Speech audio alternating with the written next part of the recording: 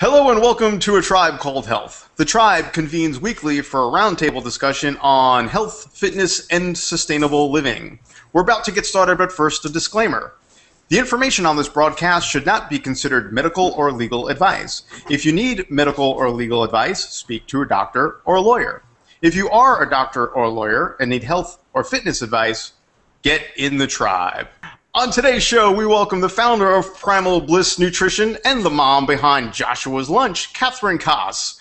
She's here to talk about how a busy mom of two raises healthy primal kids. Turn off the TV, stop throwing food, wipe that smile off your face, and do not make me turn this podcast around. This is a tribe called health.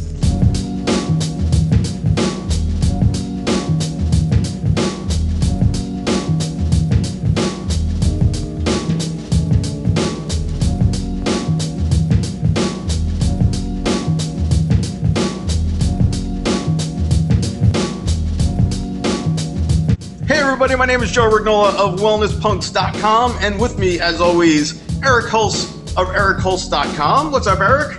Hey. I have to stop saying as always because it's like lately Jon just isn't here. I know, bummer, right? Yeah, so we He's Jon a busy guy. He's a he busy is. guy. He had to take a last minute client, so um, we'll we'll let him slide this time. But um, it's getting kind of annoying because we, we miss Jon. Um, but that's you could always find Jon Randles and his lovely fiance Barbara at sexfoodandkettlebells.com. So Eric, what's going on? What's new, man? Um, this was my first Memorial Day weekend without drinking Oh, because I'm wow. doing like this, yeah, like the That's 90 right. days of no alcohol or sugar or anything. no and- fun. Uh, yeah, you know, wah, wah, wah, wah. Yeah, But yeah, actually, you know, it wasn't. It it was it was totally fine. Like I was I was DD, and it's always Mhm. fun to watch other people get like wasted, and you're Yeah, totally true. fine, and you're just like, True. oh, wait until tomorrow morning. yeah. Well, I have I have I have a very big announcement. Oh yay! I feel like I, ha- I got the first sort of episode out of the way today, so I feel like I can talk about this now, and it's also fitting that Kathryn's on because she's going to be part of this. Right on. I am producing uh, what I'm calling the Primal Cooking Workshop, which is going to be a series of probably 15 workshop videos teaching people, you know, uh, the, how to how to cook real food, basically.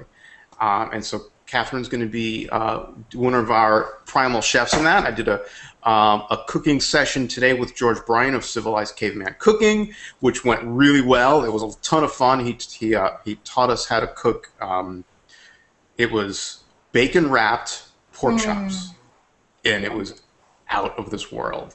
Really good, really really good. So it's like we had some pork on pork action going. It was good. it was really You know, good. I So- did that. I did that once, and I posted a picture to my Facebook just to be Mhm. like obnoxious. I was like, Yeah. I said something like pork on pork or something like that, and, and people, it was like half and half. Half of the people were like, "Right on, that's awesome," Yeah. and half of the people were like, "Ew, that's so gross." Really? Yeah, I don't understand what's wrong with that. I don't know. I don't think they're part of my page anymore. They're- Probably not. If Yeah, they don't get people don't have that, humor. Yeah. yeah, no. If they don't get that, then you know they're just they don't belong on on any of our pages. Totally. So, all right. Before we uh, get too uh, too far off track here, um, Eric, why don't you read our guest bio? Yes. Okay. Uh, Kathryn Kos is the founder of PrimalBlissNutrition.com. She's an undergraduate degree, has an undergraduate degree in movement science and master's degree in rehabilitation counseling. She's also a breastfeeding counselor and has started a study, started studying to be a certified nutritional therapy practitioner. Her passion lies in understanding food and the profound effect it has on the mind and body. Welcome. Yeah. Welcome, Kathryn. Thank you. Eric, you you you do such a wonderful job reading those. You, Yeah. Thanks. Mm. honestly, it's I Yeah. practice. I have to Yeah. practice like eight thousand times before we start rolling. So I, I don't, and I still, as you can see, it's still screwed up. So I work with kindergartners all day, so I'm I'm reading like cat. oh yeah, people, You know. you're on like a first grade reading yeah. level. So my mind kind of reverted back to that. Gotcha. It's all good. It's all good. And So- I have a kindergartner, so I know how that is. Yeah, yeah, yeah. I have a 16 month old, so I'm, Ah. you know, I- I'm having trouble even finishing words at all lately. Oh my goodness. Yeah. I can imagine. I, I, I can say my ABC. I can say ABC now though, so that's good. I'm, There I'm you go. So, Kathryn, um, we always start out with uh, asking our guests uh, how you got started on this journey, um, how you, uh, you know, what you're, you're running this blog, uh, Primal Bliss Nutrition, and have a, a really popular Facebook page. So, how'd you get started on all this? Well, it's it started back in, gosh, like 2011. I was eating what I thought was a healthy diet. I was eating a lot of um, sprouted grain breads and almond butter and um, a lot of gra- a lot of legumes and what you know what I thought was as we're taught to be a healthy diet.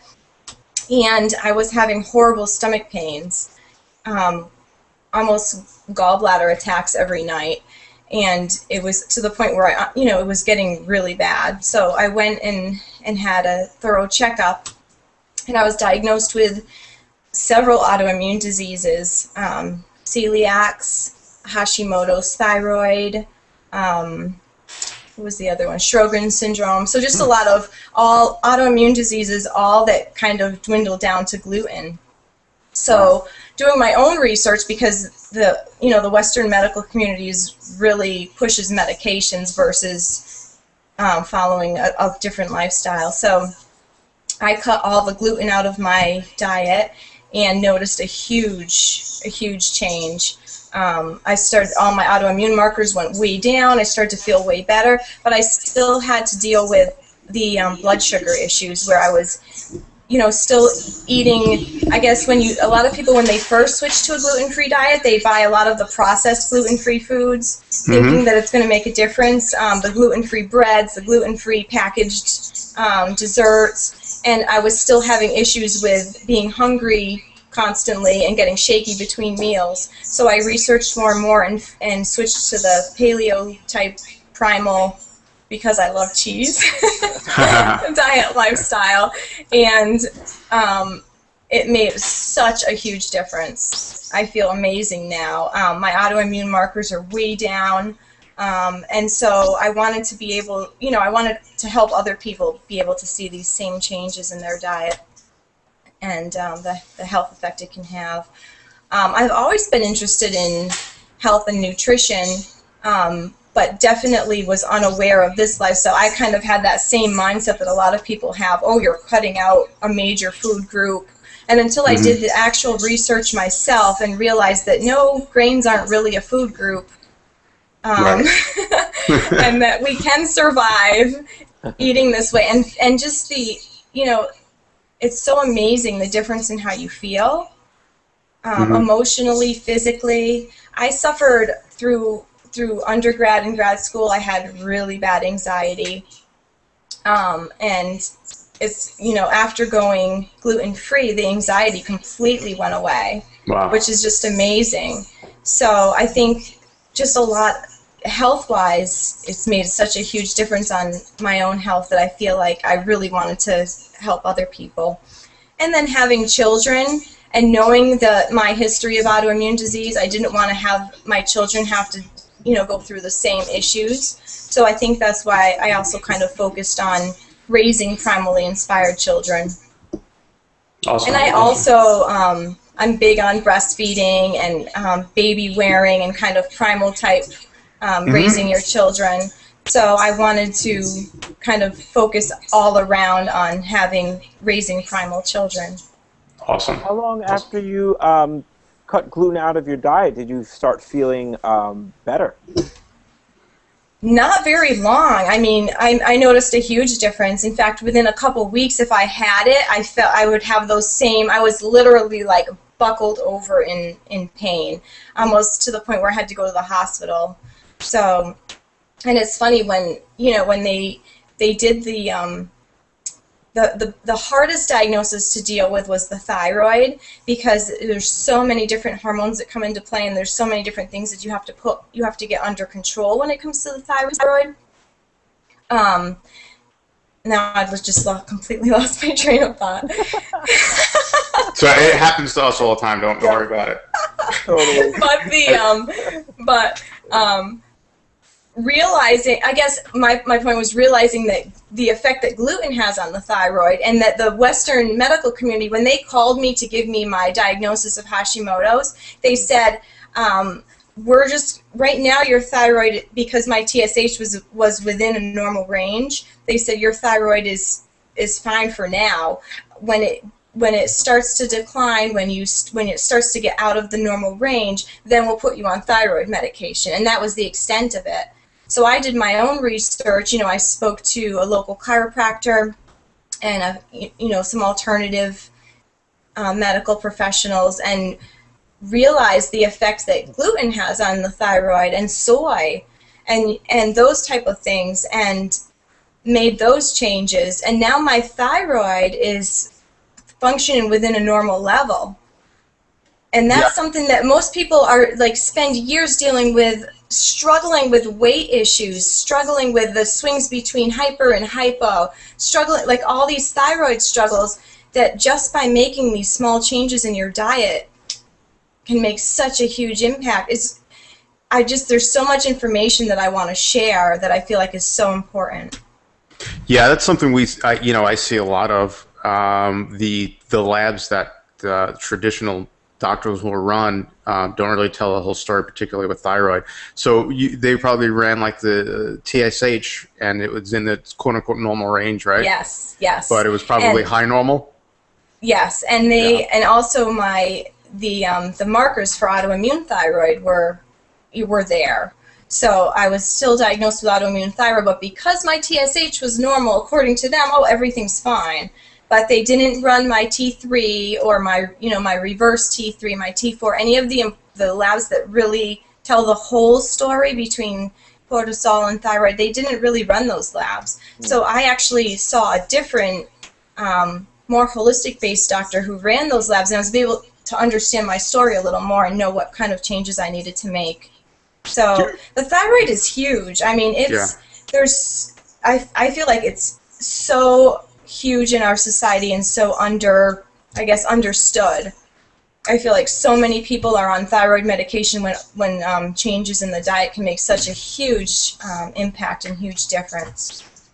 Yeah, absolutely. Do you remember what the upper range was? I'm trying to remember. I think conventional medicine says it's like five, but the the real upper limit should be like 3.5 or yes, something like that. Yes, and Yeah. mine was, I want to say three, Okay. three something, but so it was within what the the, med, the Western medical community considers the normal range, Mhm. but it was you know definitely concern to me, and so Right. I, you know, I I did my own research, and that's what I try to advocate for people too, is to do your own research, you know, and try to get Mm-hmm. a, a full understanding of everything.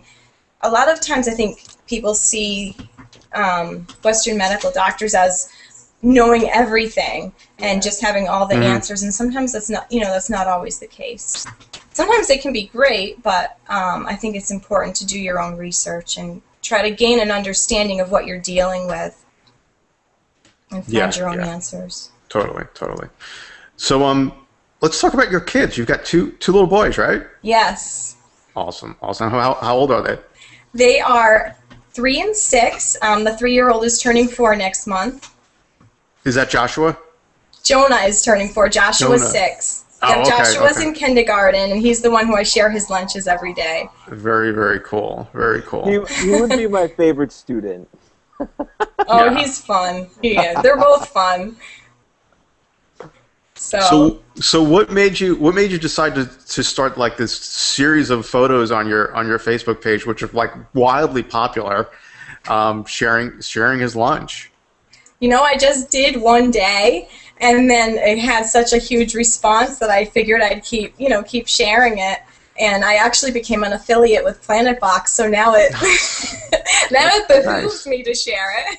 Yeah, no, it's such it's it's inspirational for Yeah, sure. So uh, and it and it helps me too to stay honest and to you know to try to keep providing quality food for them because it it's really hard um, culturally with with young children. Yes. That's Has the he hardest part. Has he? What has the response been? You know, with his friends. Well, being in kindergarten, it, it hasn't been too difficult because, um, the, you know, they're all just everything's so new to all of them. Nobody really, you know, I kind of had lunch with him a couple of times, and no one really says anything. They all just kind of like eat their lunch and giggle and you know do their Yeah. little silly It's sweet. conversations and stuff. Yeah, it's really innocent and sweet. I'm sure as he gets older, but I'm hoping because I started him at such a young age that he will just be used to this being what he has for lunch and not, you know, not ask for those changes. You know, my my brother teaches his kids to call instead of healthy food, he calls it strong food. This is your strong food, you know, and I think that that has such it, it's a different. It, takes on a different appeal, you know, than healthy. Sometimes when you you hear, kids hear healthy, they're automatically like, ah, you know, like their brain turns off. But if you say something like this is your strong food, you know, then and if he, I don't know, it, it, it's something that you would eventually like lean on to him or teach or whatever. Yes. But you I'm know, if totally you're telling other like that, kids, yeah. this is my strong food. This is gonna make me strong and healthy. You know, this is real. That's exactly. There's there's several things that I do. I try to explain to them. I try to teach them um, how different foods affect their body. Like when they when they ask for things that I know are less than ideal for them. I you know I'm not a hundred percent stickler. I can't. I, they can't live in a bubble. And sadly, we live in a culture where processed food is is a part of everything. Yeah. You know, um, the health educators that come to the school, they're pushing Mich- um, Michelle Obama's agenda of whole grains. And so the kids are being taught that whole grains are healthy. And, you know, every single thing that you go to, every birthday party, every um, family, every gathering, all everything that ha- involves children involves processed foods. It's just it's sad, but it's how it is. So it makes it really challenging as a parent who is understands the, the profound effect food has on their body, but and wants to educate them, but also knows, you know, I know culturally the challenges that I face. So I try to teach them that every the effects that each food has on their body. Like when they're munching on baby carrots, I'll say, "This is really good for your eyesight. This is going to help you see well because of the vitamin A in these." You know, I try to kind of think about the different. And, and when they're having their meat, I say, "Oh, this is muscle food. This is going to make you have big muscles like your brother." And you know, I just mm. try to play up the mm-hmm. healthy foods that I offer them and um, you know it just it's really hard but i do the best i can within the context of our culture and i try Yeah. to stress that like you, they can't live in a bubble when they go to and the other thing is they learn too when they don't have it at home um, joshua went to a friend's house and he they had doritos and you know doritos are like crack for a kid yeah. Yeah, my goodness. totally. Yeah, Yeah. yeah, yeah. yeah. and so he was like devouring that bag of Doritos because we never have that at home. But he came home and he literally threw up. And Wow. he felt sick to his stomach and he was like, I never want those again. Hmm. So I think when their body's used to having real food, even though the other stuff is tempting, it kind of makes them feel sick. But Yeah. I, I think that's a great lesson because you, as a mom, you could say so much in the terms of, no, don't eat this, don't eat that. And they might just do it anyway because, you know, that's what kids do. They test those boundaries. Yes. It's great that he did it on its own. And I was he- looking around. I don't know where Jon's not here, so Yeah, I know, right? his phone is ringing. That was me. I just, it was actually a solicitor, so I picked up and hung up. Nice. every almost every yeah almost every episode Jon gets a phone call. Yeah. But, uh, I was Oh like, wait a minute. Jon's But yeah, I, I think that he got a physical response that was unpleasing. So Mm-hmm. now it seems as though he may associate that with Doritos, Doritos. which I think is it's a much stronger comparison than when if you were to say something and say no, Yes. no, don't Yeah. do The hardest part too is there's literally like children are bombarded with um, with this in every single area of their life because in our culture there's so many people that deal with obesity so it's such a focus in our culture on diets and um, the obesity epidemic and health and nutrition and this and that. And i feel like it it's almost overwhelming to them because they're they're sh- like from such a young age it's literally like in their face. So i try not to focus i try not to put too much stress on them but I try to explain to them where, you know, the important things like where our food comes from. We visit the farm, we stop at the farm and we buy our eggs at the farm and we buy um, the raw milk at the farm. And we try to I try to teach them the difference. Actually, my three-year-old just had a field trip to um, a, I guess they call it a CAFO type farm, where they raise the cattle. Yeah, eating, um, concentrated animal feeding operation. The ca- yes, yes, and they're and and you know as we were riding through it, this was the ironic part is there was huge fields of grass all around Mm. this farm, but the cows were literally all in one little barn, like 600 cows Oh wow. and they were standing, you know, in their feces and they were eating their grain, and I was horrified. but And that was a again. field trip. Yes, it was a field trip to visit a farm. So this is what they're learn. This is what they're being taught as what farms are now. Right. And Oh wow. nobody else really sees the. Problem I don't know. I guess Yeah. sees the problem in it. Yeah. But he did. He was like, "Oh my goodness." I think we should put the solicitor on the on on the podcast. Yeah, exactly. We'll still like a re- it's still like a reverse prank phone call. I'm just gonna let it answer. I think that's my sister, actually. Oh, that's is You can answer it. Yeah, totally. So Hey, sis. Laura, I'm in the middle of my my um, interview with the tribe called Health. Can I call you back? Hey, Okay. Laura. They're all Laura. saying hi to you. They're all saying hi to you. she says hi. Uh, okay, I'll talk to you. That's funny. That is funny. She would keep calling too. Oh, when you- He's We're totally too. keeping that in too. yeah. Yes, when you um, when you come visit, we'll we'll definitely. Uh, I'll have my sister come too because she's fun. Yes. I cannot wait. Oh my gosh, we will have so much fun.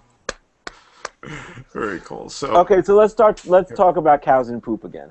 Yeah. So anyway, yeah, that that you know to the children, this is this is what they're being taught as as what a farm Normal. is. But when I was growing up, I grew up literally with lots of farms around me, and the cows were always outside eating grass. You know, that's just what they were doing. We used to go pet the cows.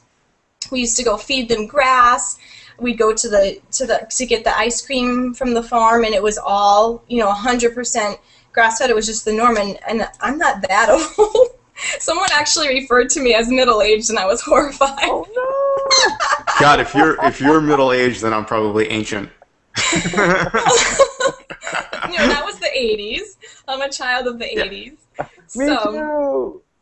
Yeah, so um, things have changed a lot, and I'd say even just the past 20 years. And and so I just I try to teach my children like cow. I try to tell them that this is not their natural diet. That they like to be out eating grass, and this is why mommy does what she does.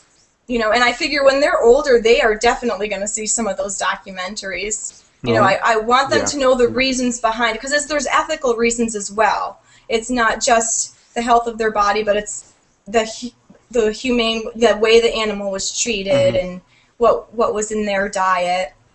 And also, you know, I want them to understand the reasoning behind that. It's not just I'm not just like this crazy health nut that's trying to like, you know, because there really is a lot of outside influences on them and it's really really i think being a parent and knowing this knowing the profound effect food has on us is very challenging and you'll find that too um, joe as you raise your child you'll find that it's very very challenging Yeah, well, let me let me ask you about that. How long have you been eating this sort of way, this sort of primal, you know, grain-free sort of way?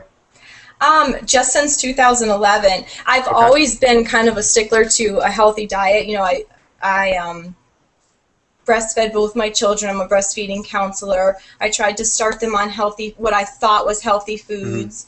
Um, lots of whole grains, lots of legumes. I did a trial of vegan. you know, all of that stuff Yeah, yeah, you know, thinking, you know, mains a lot of mainstream what you, what you think is healthy, but then when I really kind of did the research and it made sense to me, when I made those changes, I think the difference in how I felt mentally, physically, has Mhm. really been the deciding factor in how I want to raise my children. So was it a noticeable transition for your older boy when you made that switch? Because was was he used to eating you know breads and pasta and certain you know even if it Um, wasn't junk junk food was it was it a hard transition for him? It wasn't. It still is. You know, they still ask Mm-hmm. for bread, and uh, you know, we they still occasionally will get the um, the sprouted grain breads. Mhm. Um, but I, you know, I just do the best I can. I, you know, I try my hardest. Yeah, yeah, yeah, yeah. it is a um, it's a, they they go through phases where they, you know, and I've asked him. I've said, do you want to get the school lunch on Friday? You know, so that Cool, once yeah. a week, you you know, because I'm, you know, I would say 85, 90, 10 primal. Yeah. I definitely can't have any gluten, but we do, you know, we do do occasional cheats. And I'm not Mm-hmm. as, you know, I, I try to be as strict as I can with them, again, within the context of our culture. Mm-hmm. But, um, Yeah, but your Yeah. younger one, like this is all he really knows at at this point. He just he's basically f- almost from day one been eating this sort of primal diet. Yes. So to him, it's yes. it's probably easier, I would say. Yeah, and he and he tends to be pickier. He's my little. I call him a fruitarian. Oh, okay. he would live on berries. Wow. And he's okay. like me as a child. I was never a fan of meat. As a child, I was I was like big on textures. I was never a fan of meat. I would always um, it's kind of a joke in our family. I would ask my mom, "Did this meat come from an animal or did it come from the grocery store?" And they'd have to tell me it came from the grocery store.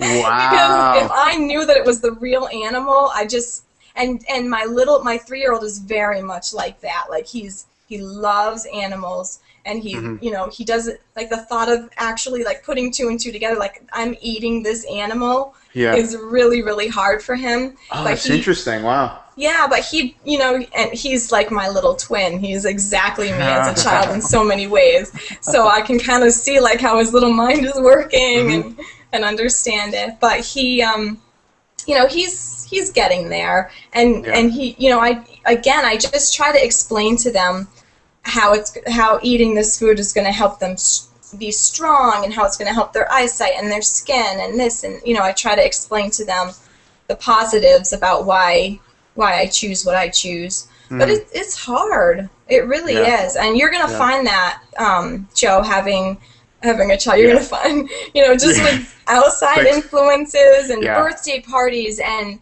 even public school. You know, I, I can't Mm-hmm. afford to send them to private school hmm as much as I would love to, and it's very challenging. Yeah. I mean, for us, we you know we we're we're hopeful that it'll be easier just because this is all he knows. He he Yes. he, doesn't know anything about junk food. I mean, he's only 16, you know, a little over 16 Yeah. months, so he went right from breastfeeding And to and their tastes are forming Yeah, at, at yeah. Mm-hmm. such a young age. So if you're if they're starting off with those kind of foods, that definitely makes a huge difference. I was so excited to give him his first food. His very first food, other than, than breast milk, was egg yolk and, and liver. Yes. It was- and I was so pr- I was like so proud of that. He loved it. And to this day, Avocado. yeah, avocado. To this day, he absolutely loves liver. That's How did So it's like- Joe, how did you prepare That's what I try to tell people is this is when their taste buds, this is when they're Yeah. forming a taste for foods. And it's so sad that the pediatricians will push that rice cereal. Yeah. I'm telling you that. Oh, it's I'm- awful. Yeah, it he has not had. Yeah, he hasn't had any kind of cereal. The only thing he's had some rice every now and then that I'll, I'll Yeah. actually cook in bone broth. So it's like everything that he gets is is, is real food. Um, Oh, his junk great. food, his junk food is raisins. That's like that's his junk food. Like he'll walk around going raisins, raisins. You know, it's hysterical, and like that's our problem. That's our big problem. You know what I mean? Oh, that's the, if that's your So it's big problem, cool. you're golden. Yeah.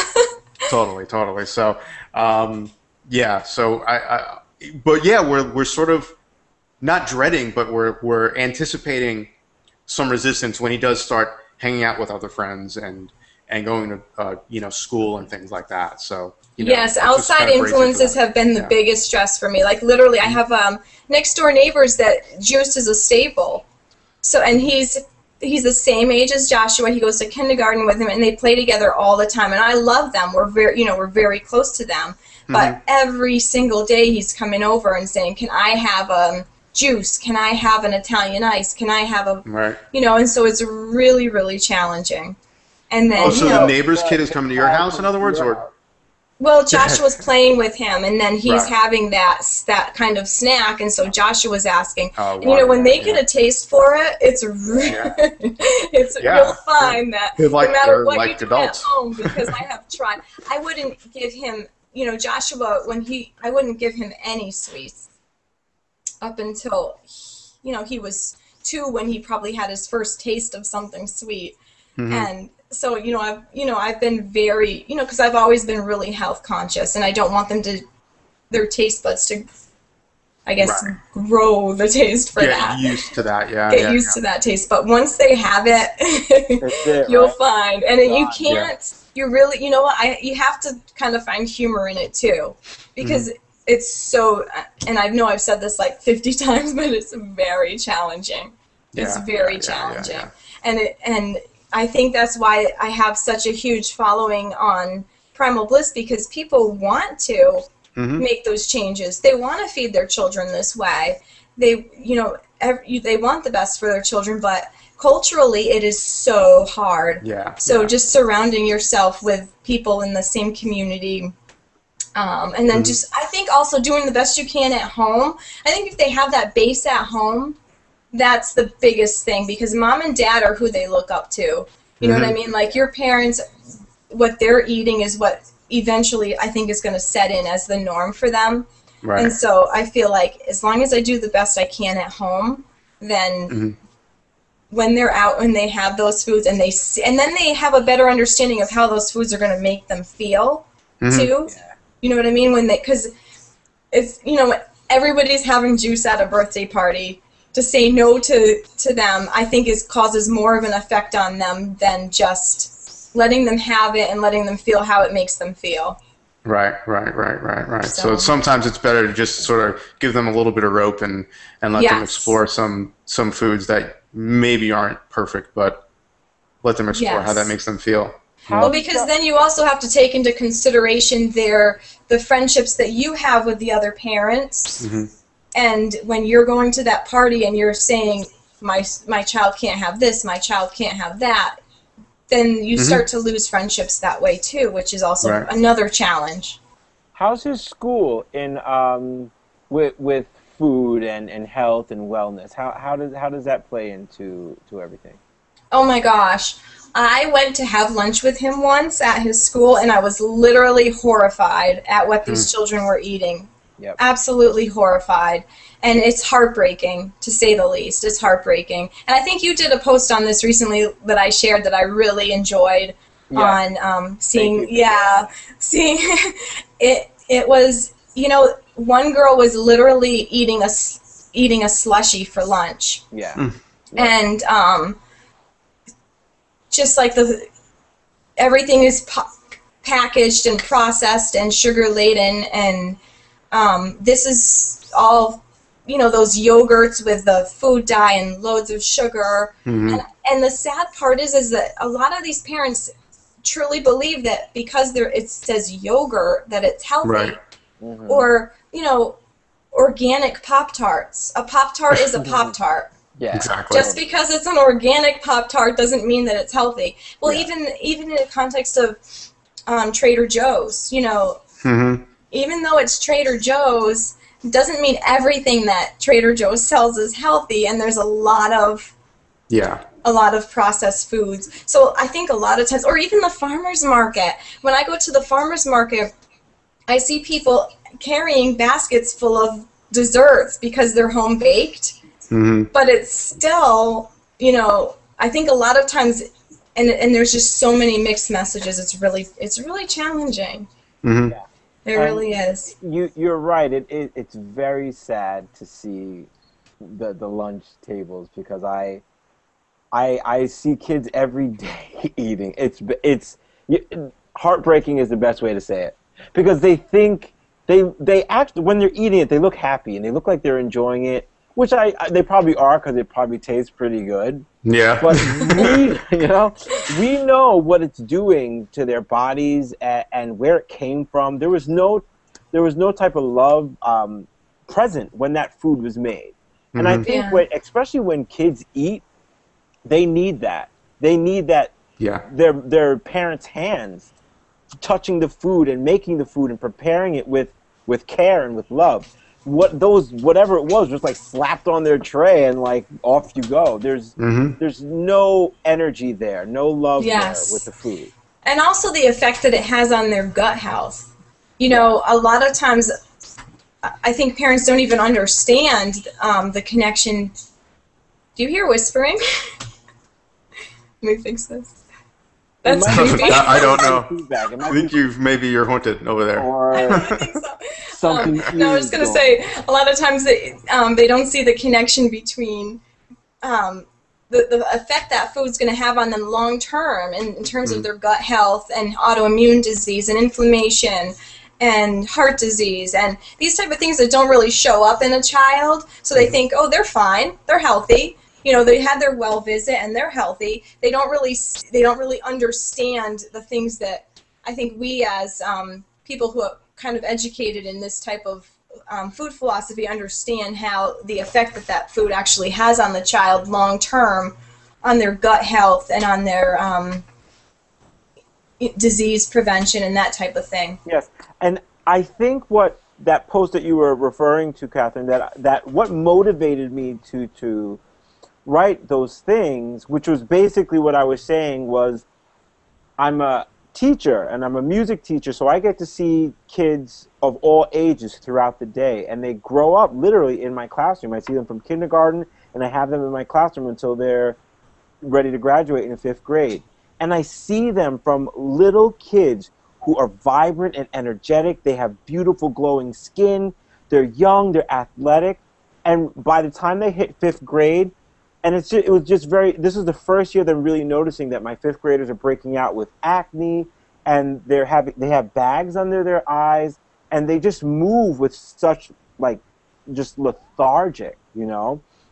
It was, it's just a very sad transition to see this bouncing little kid grow into a 10 year old who, who just looks very sad and, and unhealthy.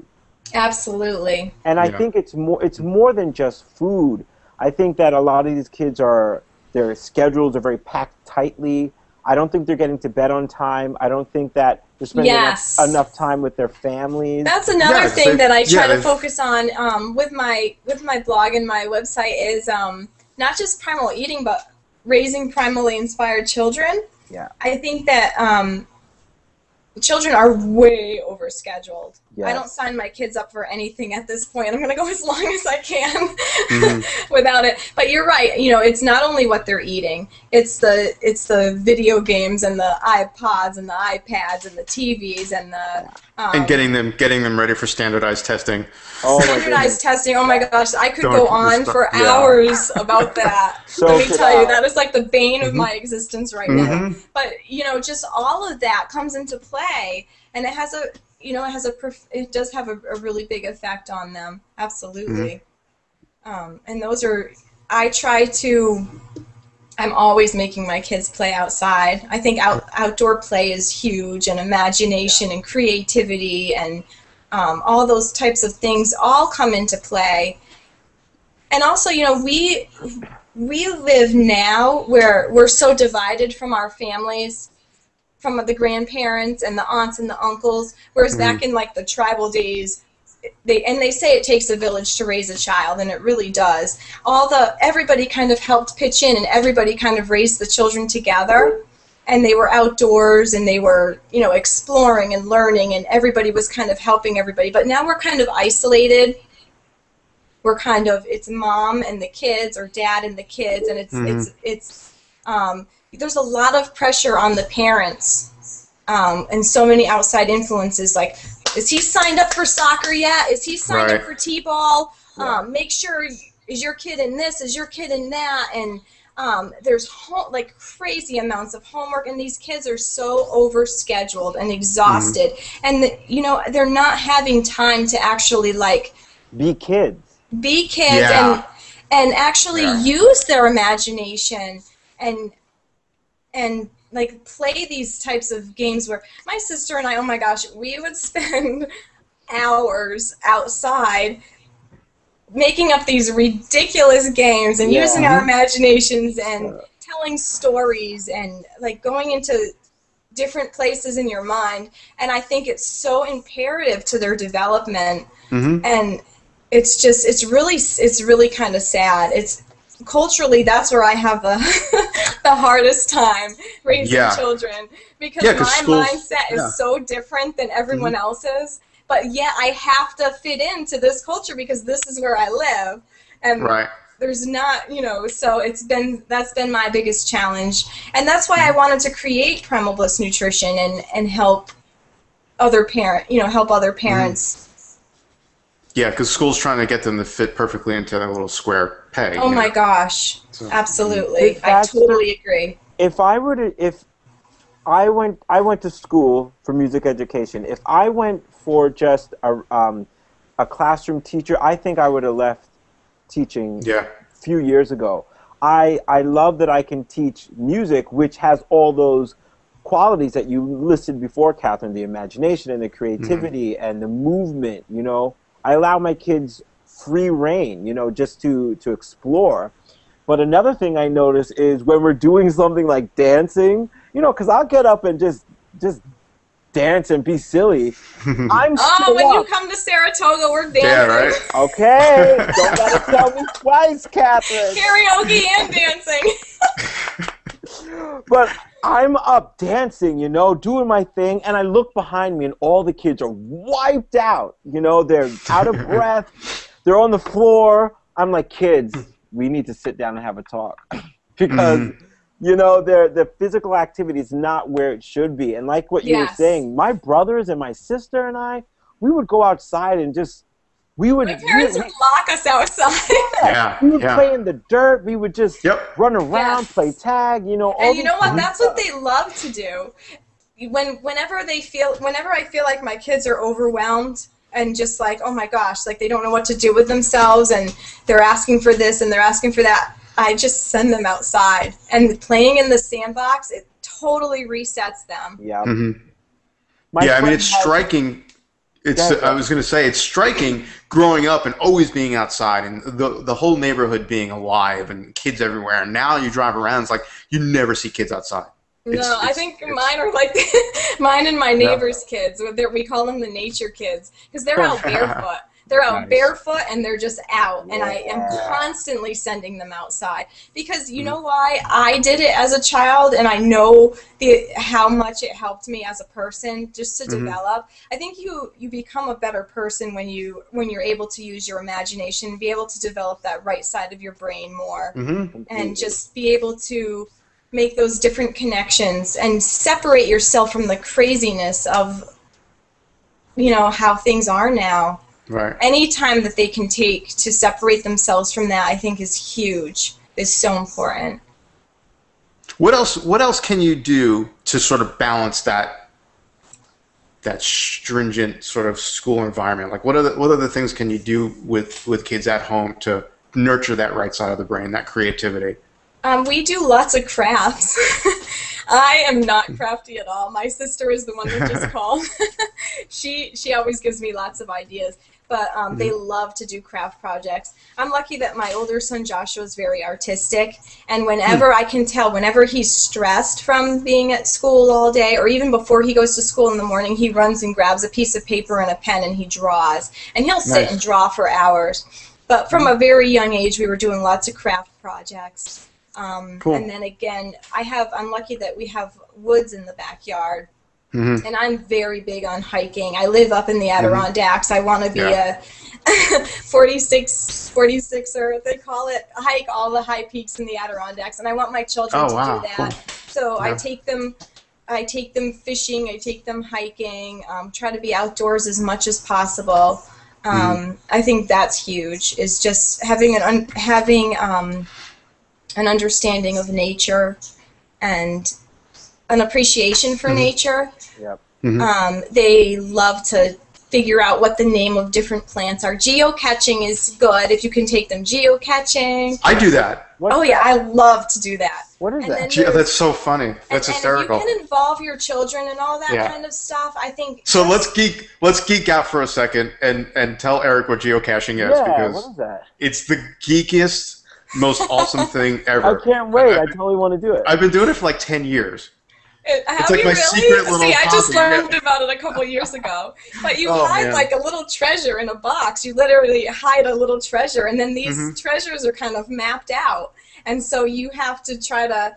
And kids love this because they love to go on treasure hunts. Mhm. So you go on these trails and and um, You use a GPS, Eric. You actually you actually take the coordinates using a, a handheld GPS, and you go onto a website, and you you load in all the like. If you looked right now on Long Island, Eric, Yeah. there's like thousands hidden all different places Wait, in parks. There's like fun little on- boxes all around right now. yeah, Yeah, usually there's like yeah, totally. If you like literally, especially where you are, yeah. yeah. there's so many hiking trails out What- where, like, where what you do are. people put in the treasures? Like, what is it? Just like Oh, just just, like kid stuff, toys, Chesky but things, yeah, yeah. yeah, yeah, yeah, yeah. yeah. Where? It's so okay, much fun. where do I have to go? I need. I need to know. Go to geocaching.com. Exactly, And it is yeah. actually it's such a great example, and it's such a great way to not only kids but adults. I mean, I, like I said, I've been doing it for so long. Is it and was cash just- or cash? Like cash, as in C A C H. C A C H, yeah. Okay. Yeah, C A C H I N G. Geocaching. And So hiking, um, they kids love to go hiking. You know, they Yeah. love to explore and they Mhm. love to learn. And I think when when learning isn't forced on them like it is kind of like in this Yeah. structured kind of way, but it's their inquisit they're asking their own inquisitive questions about different things. They actually love learning. Children Yeah. love learning if they're Yeah. you know if they're taught in a certain way Mhm. um, and they love to explore their environment. They love to ask questions and get answers, and so you know I try to do all of that with them um, when I can. Um, So, do you notice or do you sort of anticipate that there may be some rebellion from your kids, you know, in in school? Uh, Or did, like, are you noticing any of that at this point? you know, I I feel like Joshua does not like school, and he always asks me if I could if I will homeschool him. I was going to ask you about that next. yes, yeah. Oh my gosh, Yeah, if I yeah. could, I would. If you Mhm. know what I mean. If I could, um, unfortunately, the circumstances where I'm in, I can't. But if I could, I, I definitely would homeschool. Um, he he doesn't love it. You know, I just Mhm. try to explain to him that this is where he's learning, hmm and you know, I try to do. I think again, and you know what? I have um, friends who have an older daughter in college and a younger daughter who's graduating soon who's Mhm. very much like me in terms of how they wanted to raise their children and they wanted to Right. do this and they did the best they could within their means and they said really the biggest thing the, where they learn the most is home the home Mm-hmm. environment and the things that you do at home are going to matter the most Yeah. um, so i think Yeah. all these other experiences are going to teach them what life is like out there because they are going to have to face that and deal with that. But I think as long as I can do the best I can at home to give them um, that that confidence and that security and that um, you know appreciation for nature, um, appreciation for animals and how ethically they were treated, you know, just all those kind of things kind of tied together. I think they I think they learn the best at home for sure. hmm Yeah, yeah, absolutely. So, um, let's talk a little bit more about the food. I mean, we've I think we've all sort of heard these stories where kids bring these healthy lunch. I've kind of heard it in this Weston Price paleo circles where they bring like this really healthy lunch to school, and that you know the, there's a teacher or an aide or something that sees the lunch and and believes that it's not healthy because it doesn't have you know eight thousand servings of whole grains in there. You know, uh, have you have you reached have you have you had any resistance? With that yet? no. Yeah. There's a lunch aide that kind of, I guess, works at the school. She works in the office, and she's also a lunch aide, and she she's Mm-hmm. actually not that friendly. I guess she kind of yells at the kids, and they, Joshua's afraid of her. But she always tells me when I see her, Joshua has the best lunches ever, Oh, and good. he eats everything, and we're Mhm. so proud of him, and everyone talks about his lunches. So nobody Wow. has said anything about the absence of whole grains. Um, Oh, thank God. But I have read Yeah. about that, and a lot. I Yeah. think a lot of people deal with that. And they have had a health education at school, which Mhm. really frustrates me because they follow Michelle Obama's Right. How many servings of whole grains a day Mm-hmm. and how healthy it is. And um, this is, I feel like it sends them mixed messages, Right. and that's really challenging for me. That's, I think, the most challenging thing for me is is definitely the mixed messages Mhm. um, between other families that they see and what they're serving their children and the schools and what they're serving their children and the um, and they don't understand well how come we don't do how come we don't have that and you know so that's again one of the big challenges as a parent trying to raise i guess primal or um, paleo type children Right. Right.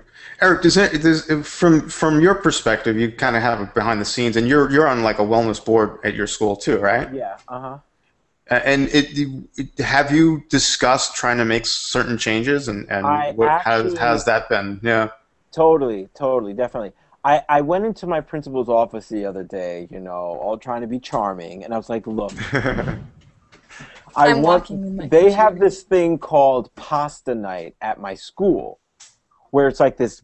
All the families come together and they they just make pounds and pounds and pounds of pasta, and they eat it, and it's like it's almost like a fundraiser. So I went up to my te- to, to my principal. I was like, look, I have a mission to get rid of pasta night, and her face went like really quickly because they know it's something that the community loves. And I was like, look, I'm destined to get rid of this thing. And I told her that I would it, it would be so much better if we had more of like a farm to table night kind of thing going on. Yes, And yes. she loved the idea. Once I sold it to her, she's like, you know what? That's an awesome idea. And even if people aren't the parents aren't backing you right now, we will definitely, even if they don't want to get rid of pasta night completely, we will definitely do a farm to table night. And I'm hoping that will replace pasta night. Because it just sounds That's awesome. Wow. yeah that sounds sounds great horrible. Pasta night. It just And sounds. Kathryn's bad. just Kathryn's just sitting there going for a walk. I You know what? I Took us had for to get the cord to my to my computer because the red light's on. So yeah, I actually Uh-oh. did take you for a walk. nice, nice. awesome. Yeah, Awesome. so I'm on a mission to get rid of pasta nights and to and to replace it with a farm to table, almost like a like an educational kind of night where where perhaps the farmers can come and talk about the farm and talk about the food and how they Oh, plant nice. it and and and make it a, a community project that's also educational and healthy at the same time. So That's great, yeah. yeah next year I plan to get this going and to get it done Nice. at my school. Yeah, Totally. the schools need need that. The world the world do. needs more Eric Hulse. oh, stop it. That's Because awesome. I, I don't awesome. think I don't think it's going to be possible at this point to try to change what they're putting in the cafeteria because Right. there's so many there's so much state involvement with that Yeah. and just like you were saying kathryn it's so ingrained in our society that that would be such a big deal to do i mean look at jamie oliver he's like a huge Mhm. star and look at all the backlash he got from the schools Right, he's trying to go into and change you know so i think starting something like a like a farm to table night at my school is definitely the way Yeah. to go and That's a great idea. Saying goodbye to pasta night kathryn can we talk about um, your your breastfeeding coaching Yeah. Yes. Um, well, I studied. Can you hear me? Yeah, yeah, we can hear you. Yep. Okay, because you kind of froze up for a second. I Thank studied um, through the University of San Diego Extension. They have um, a breastfeeding educator counselor certification. So it was a, um, a semester long program um, online, and I worked at my own pace. And I became a certified, I guess, educator counselor. So, and I'm also um, a counselor through Breastfeeding USA, which is um, an, a fairly new um, breastfeeding organization that helps um, runs breastfeeding support groups and helps women with issues that they may encounter. Um, so I do classes and um, for expectant parents, and I also do um, uh, breastfeeding counseling as needed. When you know, if I get a phone call or Yeah, yeah, yeah. Um, what are what are some of the uh, the biggest challenges that that new moms come across with that? I, I think um, definitely overcoming the obstacles they face in the hospital. There's a lot of misinformation out there. Mm-hmm. And also, um, my gosh. And I think one of the biggest things too is back in the in our tribal days, in our primal days, women were women always saw each other breastfeeding. Um, um, parent children were raised seeing their parents breast seeing their not their parents seeing their mothers breastfeed and their aunts breastfeed and their relatives and everyone kind of did out in the open so it was always seen so it, you, it's a learned behavior Mm-hmm. so I think that because we're always covering it up and hiding it and making it so taboo that Right. now in, in, in our culture today we don't know how to do it. We're just Mhm. it's not there's no we, we put the child to the breast and we have no idea what to do. We don't we we don't understand their feed their cues. Um, learn we were taught some horrible advice from past generations on what to do in in um, certain circumstances, and it's all kind of based on a bottle feeding um, Mhm. culture. So Yeah. we don't understand how to read their cues. We don't understand how exactly how to place them, and so there's just a lot of things going against mothers, and there's a lot of um, really bad books out there and a lot of really bad advice, and we just we don't listen to our instinct. We don't even know how to. I think at this point, Yeah. culturally, we don't even know how to. Um, we're so nervous and we're so overwhelmed, and we have so many messages coming at us. So it's it's definitely become a challenge. You're you're taking a class right now to be a nutritional therapist. Where where do you see yourself going in this? You know, uh, in this business, where where do you want to take take all this? Well, right now I'm working on an ebook on feeding babies, on starting solids, and what foods to offer, which I think is very important. So I'd like to author. I want to um, definitely publish some books, um, and I want to take on clients. And I've already had a um, a holistic doctor approach me. A holistic, I guess it's called A functional health? medicine doctor. Okay, yeah. Approach me and say, give me her card and say she's looking for nutritionists all the time. Sweet. Yeah, so so I'm and then there's a chiropractor in the area that I'm friends with and so I'm hoping to kind of, you know, do some work in the area that way and then definitely expand online and um, I also just want to say that I think this is such an amazing community, the paleo Yeah. primal kind of community. I, I love how we all support each other. I love how it's not competitive and I've met some amazing, amazing people. And just literally, I just started in, in um, February of this year, so it's been three months. And the the amount of people that I've met and the Mhm. you know just the the help that I've received and the mentoring and people are it's just a great community. I feel very very lucky. Yeah, no, it's definitely awesome, very supportive, and and uh, I'm, I'm totally grateful for for all You're that, both too. you both keep freezing up again. Yeah, I know. I think we're just about to lose it, so let's just let's Yes, wrap it up. Yes. Thanks, Kathryn. We will talk to you soon. All right, great Okay. episode. Well, cool. Okay. Well, once again, you could find uh, me at wellnesspunks.com, EricHulse.com. and Kathryn is at uh, primalblissnutrition.com. And everyone, keep an eye out for my primal cooking workshop, which will be uh, coming out later this summer. Like I said, I did a segment with George Bryant of Civilized Caveman today. Uh, Eric's going to uh, do uh, do some stuff. He's either going to cook or, or host Yep. or something. Jon is going to. We got a really cool segment with Jon Randles coming up. It's going to be all about ice cream, teaching you how to cook some primal ice cream. Um, Kathryn's going to do a segment on on feeding uh, feeding kids. So there's going to be a lot of stuff for everyone. Some some uh, some uh, very well known people are going to be involved with that. So super excited. Keep a lookout for that, and uh, that'll that'll do it. Have a good night, everyone. On today's show, we found. Try that again. I love that I can edit this after the fact because I always That's great. screw up the intro. On today's show, we welcome. Damn. Again. Maybe I drank too much. Oh, I love it. Joe. Hold Take a on. deep breath. On today's show, we God damn it. I got this. I got this. Hold it you have to include the down. outtakes. It's kind of funny. Man. Yeah, we got like the crazy lag going, but I just want to get this one more question in. What's like You're, the you're kind of robotic. Was it the first, the most important first three foods? Yeah, let's let's just say that the first the first three foods.